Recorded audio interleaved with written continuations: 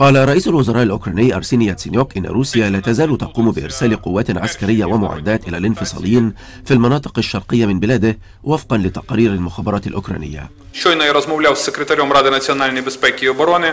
هناك دبابات ومنصات لإطلاق الصواريخ المختلفة من طراز جراد بالإضافة إلى أجهزة مخابرات سلكية لا تباع في دونتسك أو روسيا لكنها موجودة فقط لدى وزارة الدفاع الروسية وإدارة المخابرات العسكرية. وأوضح ياتسينيوك أن بلاده ستعلق المحادثات الدولية بشأن الأزمة في أوكرانيا والمقرر إجراؤها هذا الأسبوع بسبب انتهاك روسيا للمعاهدة الدولية بشأن منع الإرهاب. كانت كل من روسيا وأوكرانيا قد تبادلتا الاتهامات بشأن المسؤولية عن تصعيد أعمال العنف داخل الأراضي التي يسيطر عليها الانفصاليون المولون لروسيا. فقد جدد الانفصاليون هجماتهم على القوات الأوكرانية في مجمع المطار في شرق البلاد يوم الاثنين بعدما شنت كييف عملية كبيرة لاستعادة الأراضي التي فقدتها هناك ووصفت روسيا عملية القوات الأوكرانية بأنها خطأ استراتيجي.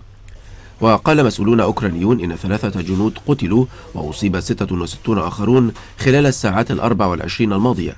وأضافوا أن القوات الأوكرانية أعادت خطوط الجبهة عند المطار خارج دونتسك إلى الوضع الذي كانت عليه بموجب اتفاق السلام الدولي الذي انتهك في كثير من الأحيان.